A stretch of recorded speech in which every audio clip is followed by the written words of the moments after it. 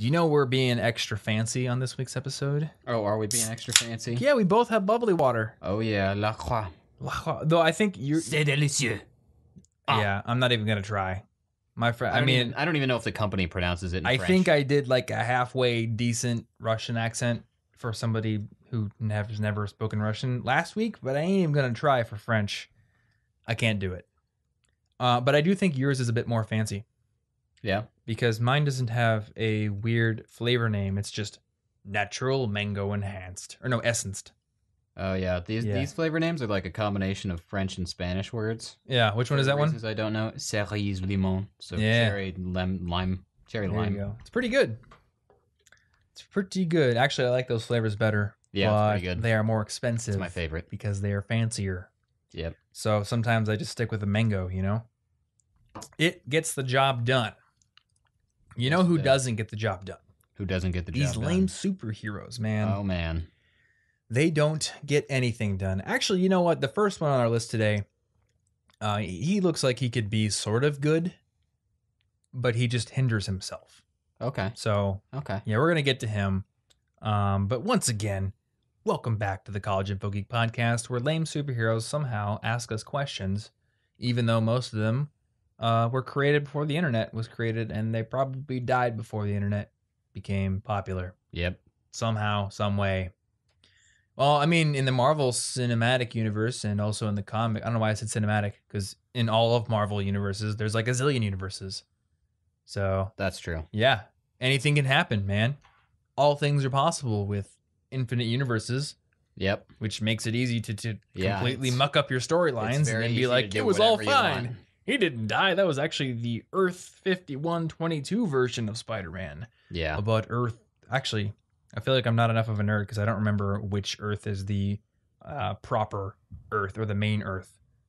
And I don't remember. I don't know. There is a number. Probably one. yeah, some angry person will put in the comments what the number is, and then we'll know. Okay. Anyway, we got questions today. Uh, by the way, I think I forgot to say this last week. If you have questions, you can ask them over in our subreddit, which is the College Info Geek community spot. You can find that over at collegeinfogeek.com slash community. Ask your questions. We have currently, as we record this, uh, there is a topic request thread for January, and I've started experimenting with trying to uh, pick a specific focus for topic requests. So January's topic request focus is career questions.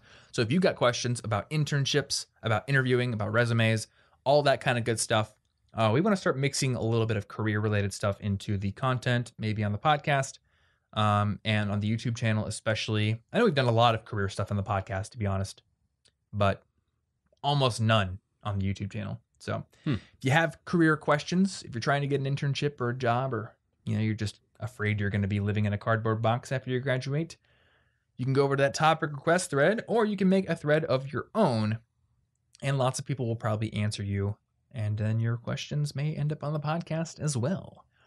But this week, our first question is coming from Mannequin.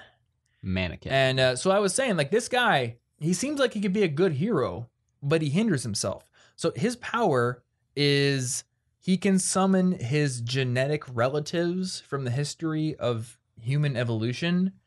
So basically, he can summon like a protoplasmic blob, which is useless. You know, and may- maybe if it had intelligence or something, it could slip under doors and sneak around. But let me tell you, protoplasmic blobs, they weren't that smart.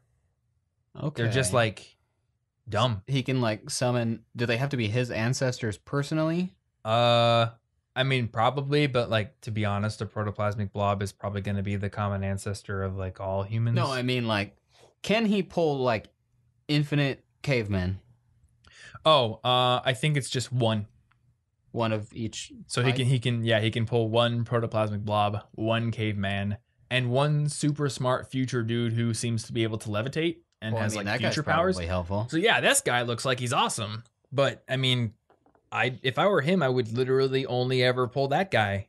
Yeah. I would never do the caveman. I don't know.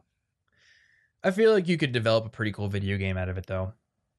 Hmm. I like those games where you have to switch between people and they have different yeah, powers. different like puzzle cool. solving abilities. Yeah.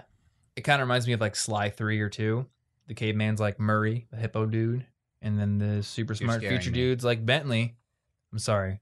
I forgot that hippos trigger you. They're scary. Or did I forget? They're so scary. anyway, Mannequin's questions, probably coming from the protoplasmic blob, to be honest, is uh, how do I use Twitter professionally? Because as you all know, protoplasmic blobs need to have a professional Twitter presence That if they're going to make the most in today's economy. Yeah. This podcast is sponsored by Protoplasmic Blob Suit Supply.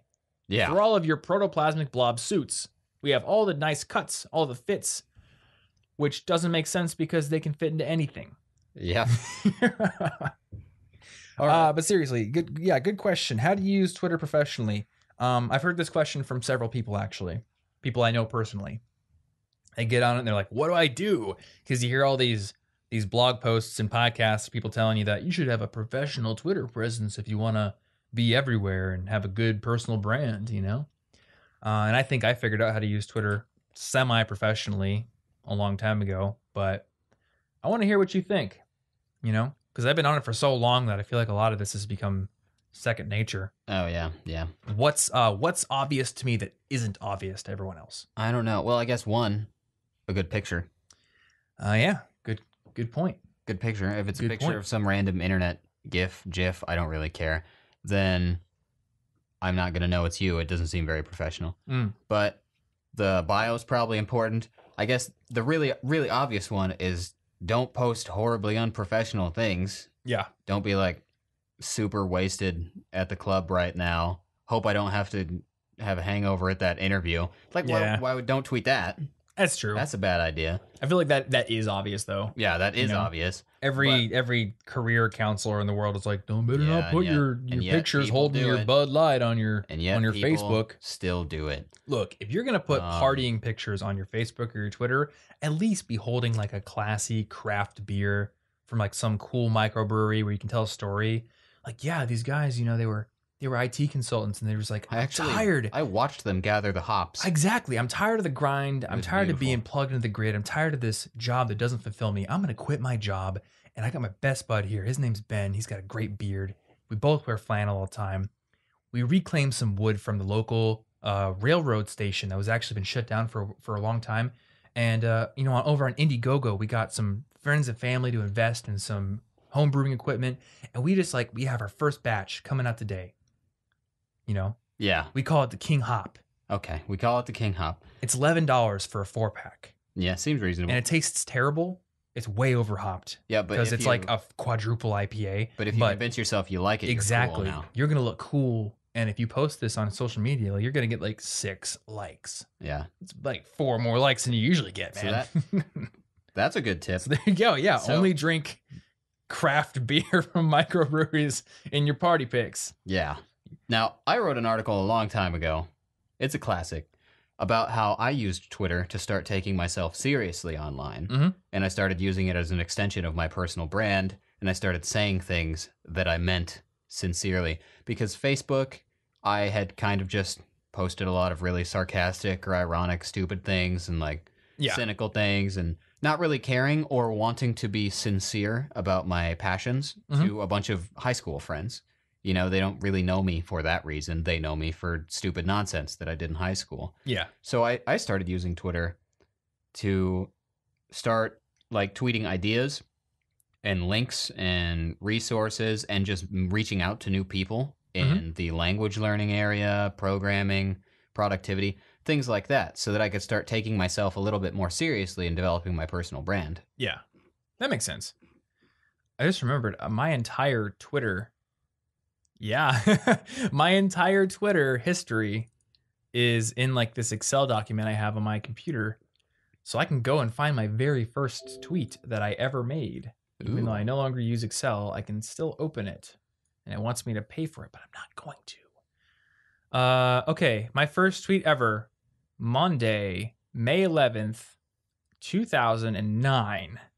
That is I've been way in Twitter for eight years. That's way before I had Twitter. Uh, my first tweet ever was checking out Seesmic on Tekzilla and decided to start doing Twitter. Bam. So it looks like I'm I'm definitely back then just kind of doing static or status kind of stuff. Happy birthday, Jason. School's over. I'm so happy. Now I need a job. uh, but I think as I I think pretty quickly, actually, looking at this, as I started using Twitter more, I started to realize kind of the power of it. So I have always viewed Twitter as, for lack of a better term, the cocktail party of social media Hmm. because it is easier to reach out to somebody who you have a common interest with, or maybe whose work you admire, who you follow, or who you might want to connect with on Twitter than it is on most other social networks. You know, if you friend someone on Facebook randomly, they're going to be like, "Who the heck is this that weirdo?" seems more personal. yeah, Facebook is for friends and family and minions jokes and never going to Facebook. Yeah. Uh, Instagram, it, I honestly think Instagram is pretty cool, um, but it's mainly for pictures. You know, um, Snapchat is we. I'm kind. Of, I'm still trying to figure out Snapchat, uh, and I think Snapchat is actually pretty darn cool in certain respects. I also don't like Snapchat for certain reasons. I think a lot of people just use Snapchat as like a way to share stuff that's really unexciting and I don't know, like not worthy of being shared, which is something I think we talked about in deep, the deep work episode. Yeah.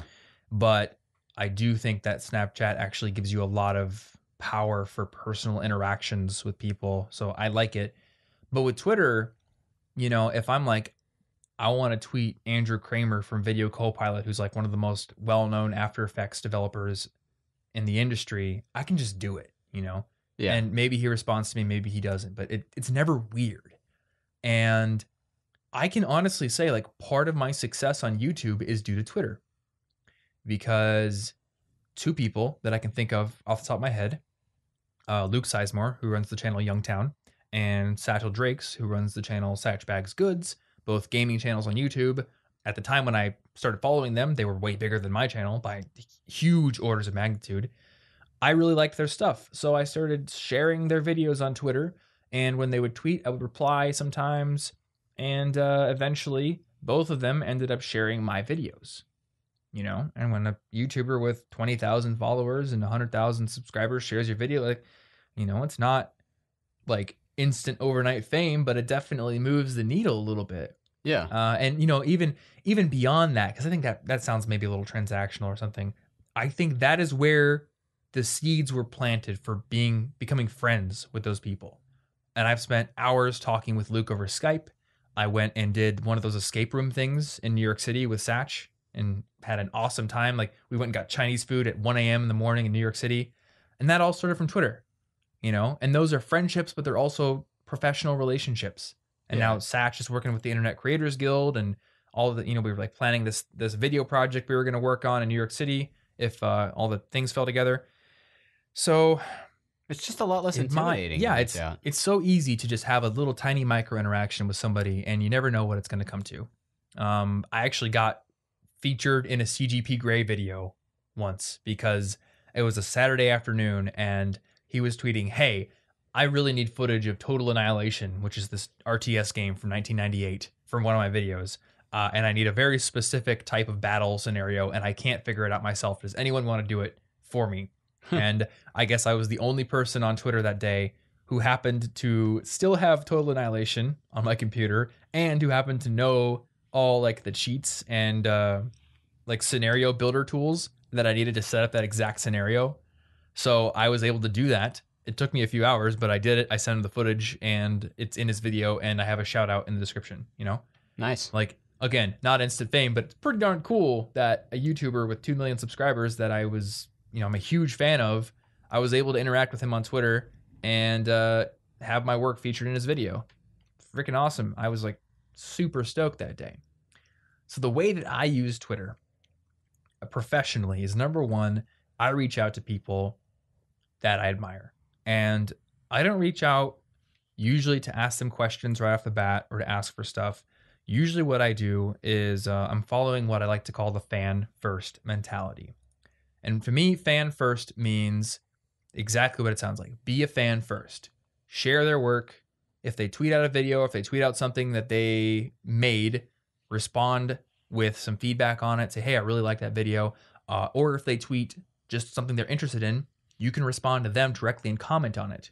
Um, like Hank Green tweets articles all the time from other people and if you wanted to you could respond to him you know and i'm i'm i'm like pulling a lot of really kind of famous people off the top of my head because they're the people i follow but Martin, maybe you're a web developer, and maybe there's Maybe like I am. some web developers you follow that uh, that I don't know. You know, I don't oh, know. yeah. Let's just let's go I'm- to your Twitter. I'm fairly certain that I reached out to one of the previous uh, vice presidents of Evernote through Twitter, and then got to interview him for a class project. There you go. you interviewed one of the vice presidents of Evernote through Twitter. Exactly. You know, and I'm looking at the um the front page of your Twitter. You you retweeted this uh, sorting algorithm illustration, which is really cool. Yeah, it is really you know, cool. so that's not you reaching out to somebody, but that is helping to kind of build this online persona that hopefully mirrors your professional aspirations and your interests. Yeah. If I go to your Twitter page and I'm like, oh, Martin's tweeting uh, algorithm sorting diagrams, well, then now I've started to build this perception that, okay, he's interested in algorithms, which probably means he's a developer and he's probably passionate about developing because he is tweeting stuff about it. That's Yeah. pretty cool. Looks like from that front page, I like programming and Nintendo. Yeah, absolutely. So on your Twitter, number one, reach out to people and connect with them using fan first. And then, you know, once you've kind of built a connection with them through that, then you can maybe start to talk to them a little more personally. Um, maybe you'll start to have some conversations, and eventually those will naturally uh, drift off into other social networks where better interaction can be had, maybe email, stuff like that, you know. And I'll leave that up to you to figure out how exactly it would work. One example would be uh, the channel How to Adult on YouTube. They were much bigger than me at one point. I was following them on Twitter and definitely, you know, just doing fan first. I was sharing their videos all the time. I was commenting on their stuff. And then one day I saw they tweeted, Hey, we want some fan submissions or some fan tips on uh, how to build good habits. And I was like, that's my Well, opportunity that's a nice, conveniently positioned request. on Twitter, I replied with, "Hey, this is what I spend like half of my days researching. I have researched so much on habit development. I've read to, like a ton of books on it. I would love to write this video for you if you'd let me." And they did. Cool. They let me write the entire script, and that led to re- to me writing about eight other scripts for them. I got paid for all of them, and then there was one time where they were like, "Hey, we need a video on skill development. Would you like to make it, and we'll just put it on our channel?" You know, and uh, the day that video went live, 900 people subscribed to my YouTube channel nice. whereas like 100 normally were subscribing a day at that point. So that was like a huge win for the channel. And it all came through uh, just building a small, really light handed relationship on Twitter. And, uh, you know, beyond just the YouTube success, the guy who ran that channel, uh, T. Michael Martin, he ended up being on my podcast. He sent me an early copy of his book that he was writing. And now we have like a bi monthly call where we just kind of check in and we keep each other accountable on work. Like we become friends now. It's awesome. So use Twitter to connect with people. Also use it to tweet things that you're interested in because it is like a personal website or like any other social media profile that is public. It is a reflection of your interests and it can help people connect you to what you want to be connected with. For Martin, maybe it's web development and algorithms and nerd stuff, you know. yeah. And for me, maybe it's being a Lol, I'm baller. such a nerd. I'm gonna be tweeting pictures of Lambos and like chartreuse. You can hang out with 50 Cent. Yeah, exactly. Is that a color? Chartreuse? Yeah, it's a yellowish green. Have you not seen the Blues Clues? I think I was I think I was going for a different word, but I just used chartreuse. Oh, See, I, I'm I'm new to being a baller. You know, yep. I need That's some fine. practice. That's fine. Anyway, I think that was a pretty good answer to that question. So next question comes from let's see here, Thunderstrike. Looks like Thor. Yeah, he, And he's he's like literally and is just holding a uh, hammer and thunder and Thor. Is this Thor? This is Thor. This is uh back in the 90s Marvel was like everything has to be edgy and cool. So we're just going to rebrand Thor as Thunderstrike except for he's got a sleeveless leather vest and a goatee. Uh huh. Yeah. I think I like Thor better. I think I like Thor better too, you know. Okay. Anyway, Thunderstrike's question is should I even bother paying attention to lectures if I can just get the presentation slides online? Ooh, crafty. Crafty indeed. And yes, absolutely. Here's the thing. You're paying for the classes, you should go to the classes, you know? I'll let you have the philosophical debate in your head about whether or not you should attend class, but if you're going to go to class, I don't know, like what are you what are you doing if you're not paying attention? You're just wasting 40 minutes of your day. That's true. Why? I you- mean- why are you even there then? I'll put this up front. My philosophy on this may be a little different than what I did. So th- this is always up to you to decide. Because I definitely spent a significant portion of my class time in college writing articles for College Info Geek or reading up on things I was personally interested in, you know, whatever. Because I had made a personal decision for certain classes that maybe I don't care if my grade is perfect in this class. This happened a lot more later on in college when CIG was starting to become a thing and I was starting to kind of realize that this might be a career for me and I don't want to go be an IT dude. So like sitting in the computer networking class probably not the best use of my time, but I needed it to pass my degree. So there you go. But philosophically, you know, if you're going to the class, you're spending 40 minutes in there. That is your learning time. And if you recall, for those of you who have read my book, 10 Steps to Earning Awesome Grades, which is free, there will be a link in the show notes. Um, I established this learning equation in the beginning, like the very first chapter of the book. Uh, so basically, like we have this desired preparedness or desired learning level you want to reach. Maybe that's being prepared enough to get an A on the test. Maybe it's being a super expert in the subject altogether. And um, the four components are your learning quality, which is the quality of the time you spend in class, plus your learning time, the time you spend in class. And then also you have your studying efficiency and the time you spend studying, you know? Well, if you're already in class for, for 40 minutes, why not make those 40 minutes as high quality as possible so you have to spend less time studying and less time worrying about how efficient your study methods are, you know? Yeah. You're already there. I mean, that completely works because there were several classes where I basically didn't study because I just paid attention enough to what they were saying in all the lectures and then kind of knew it by the time the exam came around. Yeah, exactly. Plus, it's all about context. Presentation slides are not meant to be everything.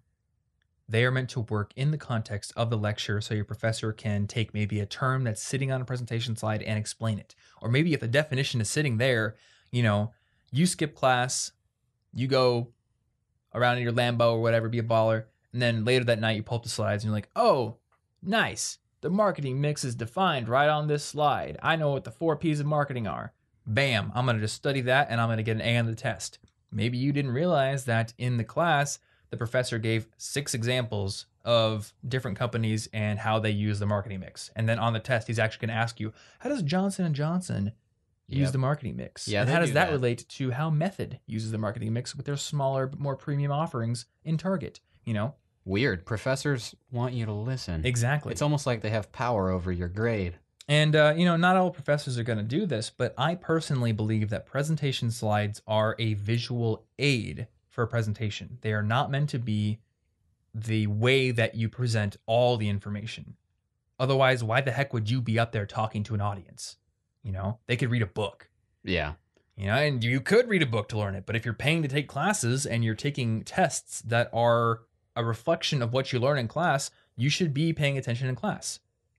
I honestly, I think that, you know, when I do a presentation, every time I go speak at a school or when I speak at a conference, my slides rarely ever have definitions or text on them. They have pictures. So I'll tell people this is why an XLR connection is going to make your microphone sound better than a USB connection. And maybe I have like a picture of what XLR looks like versus USB in my slides. That's it. Yeah. Some professors will do like fill in the blank slides. Again, you need to be in class to fill in those blanks. Otherwise, you're not going to know what you're doing, Yeah. you know? And I- I Um, mean, some teachers will just read straight from a slide. Sometimes, Yeah. sometimes they're not going to add extra value. That that happens occasionally. I'm not even going to pretend it doesn't. But if you pay But, attention, you know, you have context, you have the ability to ask for clarification if you need it. Yeah. And if you're paying attention in lectures, you have a better chance of building a good relationship with your professor, you know, which we've talked about in previous episodes is incredibly important. Yeah. Maybe more important than the actual content of the class. You know, maybe you don't actually care that much about that meteorology class you're taking for your science requirement. But maybe later on, you end up needing a letter of recommendation from a professor. And hey, you paid excellent attention in your meteorology class. And uh, your professor knows that you know the difference between a cumulus cloud and a marshmallow. And he's not afraid to write a letter telling somebody about that. Yeah. I don't know the difference. Well, marshmallows you can eat. You can eat a cloud. It's just water. Whoa. Look, they're the same thing, basically. So you're But, saying like uh, we could solve world hunger by like harvesting clouds? yes, that's what I mean. Nice. On a foggy day, everyone eats. Oh my gosh. Yep, How come nobody's thought of this yet? because it's the We worst figured it out, idea dude. I've ever heard. I don't know, man. I don't know. Don't knock it till you try it. But yeah, it's just as a general rule, probably first assume that the teacher is providing something of value during their lectures. Yeah, And exactly. Let, let yourself be proved wrong. If you really, really, really don't need it and don't care and you don't need a relationship with them and they're Mm. not adding value, you'll find it out. Yeah. But you shouldn't assume that first. That's a very good point. Let yourself be proved wrong. Give the class the benefit of the doubt. And if it's absolutely useless and you still have to take it, sure. You know, you do you. Yeah, I mean, if Be you okay want to be with the grades you get. about it. But again, that learning efficiency or learning quality in class, the more you can maximize that, the less work you create for yourself when you should be having fun. Yeah, there were on. classes I never had to study for because the stuff was in the lectures and I was there anyway. Mm-hmm. So why not? To summarize, and to take from every email Leo Babauta ever sends you, just be in the moment, man. Be in the be moment. present. Present minded. Yeah. You're in this class. Accept it. Exactly. Last question comes from Wild Dog. What? Is it a dog? no, it's a guy. No, he's just.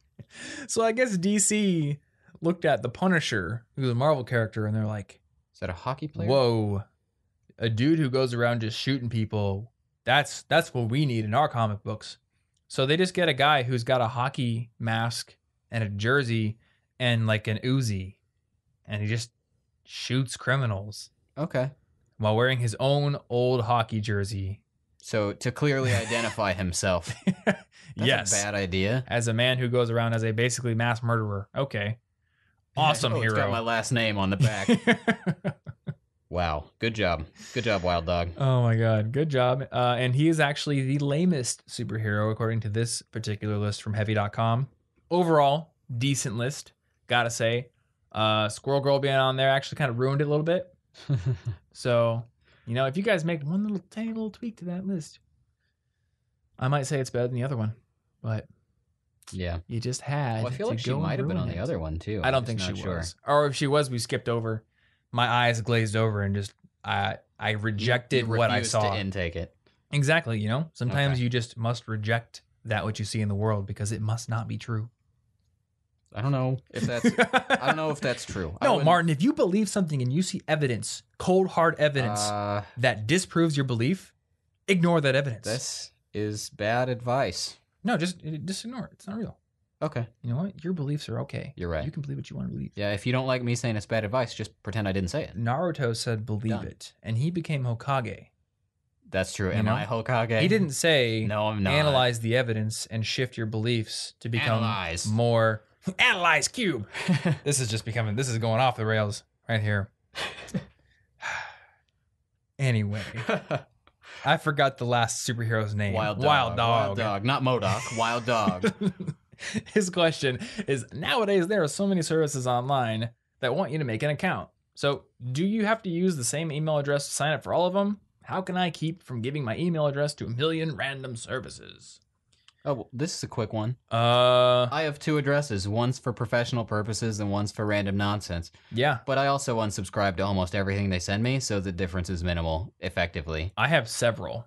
Yeah. So, um, the first thing I'll say is, I actually didn't do this for a long time, and then I, I read about somebody getting hacked and realized it would be a good idea.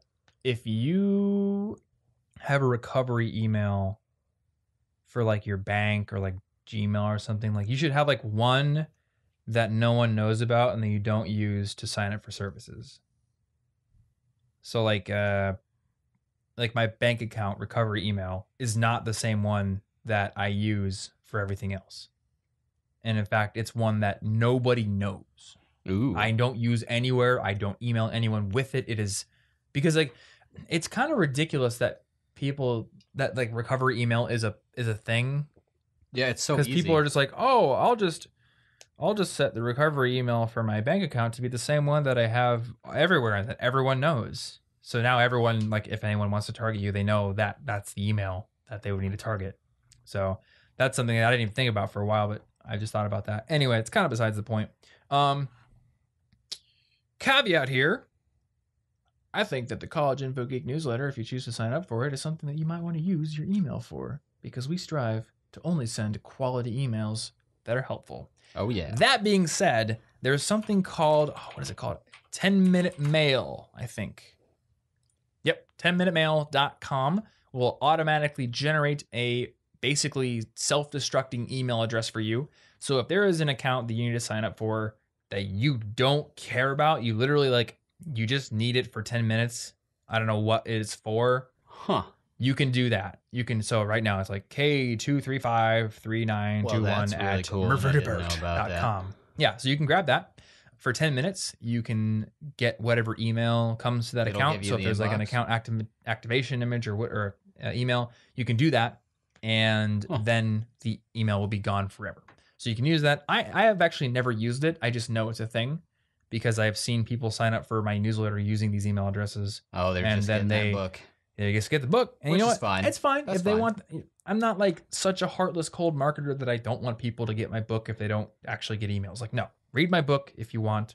It's just a good Yeah, I mean, way. if anything, it's they good might like it business. and come back. yeah, right. You know, it's good business to build an email list uh, because if YouTube explodes someday, I still have a way to contact my subscribers. You know, Yeah. good good business, but I still want people to read the book.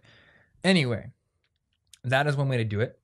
Another way to do it is like you said, have like one crap email address and one good email address. I actually have all of my email addresses forward into one main box because I don't want to use like Outlook or anything to organize them all.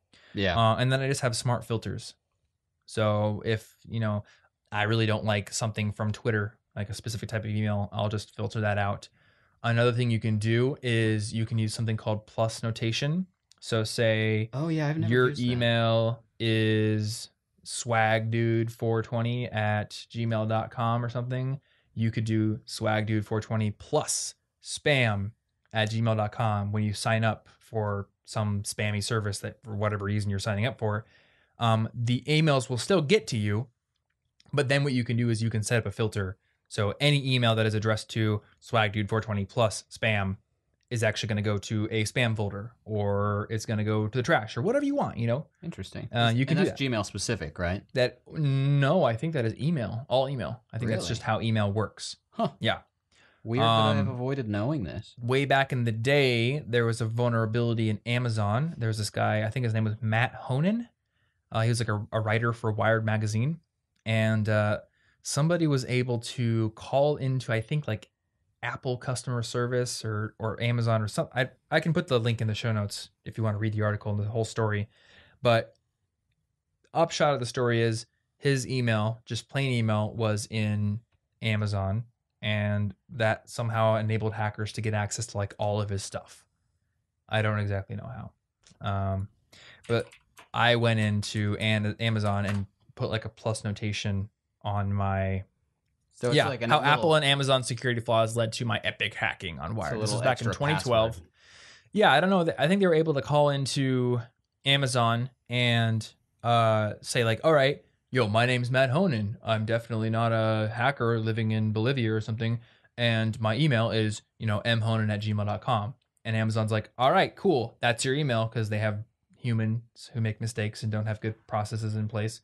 And I think what they may have done is give him like the last four digits of his credit card Ooh. or something like that. And then he was able to call Apple and be like, the last four digits of my credit card are blah, blah, blah. Give me access to everything. And then he was able to basically hack into the dude's Mac and take over everything from there. Oh. So, and I bet you at this five years later, Amazon has probably plugged this hole. But at the time, I was very paranoid. So I went into Amazon and I changed my account email to whatever my email is, plus a huge, long, basically extra password at gmail.com. So that way, if anyone ever wanted to call Amazon and they wanted to verify who that person was by asking them if they knew the email, if they just said my normal email, Would wouldn't be work. wrong. Exactly. Okay. Yeah. So I don't. This is probably not a thing you need to do anymore. It's That's like interesting, ultra though. paranoid behavior, but yeah, I did that. But you know, upshot, you can use plus notation to help with filtering your emails, uh, or you can use those destructing emails, that kind of thing. I don't usually use them, um, but it's it's a way to do it. You know. Um, back in the day, there was like something called OpenID, but I don't think that's a thing anymore. you Yeah, can use. Facebook sometimes to log in, but I don't. I don't really like Facebook. That's true. I don't like connecting things to that because if I ever don't have Facebook someday, I'll lose a bunch of accounts. Yeah, that's true. Yeah, and I, I sadly do have some Facebook accounts, so Yeah. I basically have to keep Facebook for that reason. oh well. Anyway, hopefully this helped. Um, we have two methods for that email thing. So to all you lame superheroes out there, you're welcome. Yep. Yeah. anyway, show notes for this episode can be found over at cigpodcast.com slash 143. And there you'll find links to all the things we mentioned, all the resources you can check out. If you happen to want more resources, including tools for increasing your learning efficiency, your productivity, tools for saving you money, maybe even helping you get a job, you can find all of our favorite resources over at collegeinfogeek.com slash resources. And on that page, you'll see all of our favorite resources on one page, but there's also a couple of links where you can find our college packing guide, which will basically give you a huge list of all the stuff we recommend for bringing to college, and also our list of essential books that I believe every student would be ben- would be benefited by reading. So check that stuff out. If you want to support the show, one thing you can do is also go over to iTunes and rate uh, write a uh, review or leave a quick rating. That definitely helps the show to grow and uh, go up the charts, and more people will see it that way. So massive thanks if you take the time to do that. Otherwise, have an awesome day, and we will see you in next week's episode. Stay cute.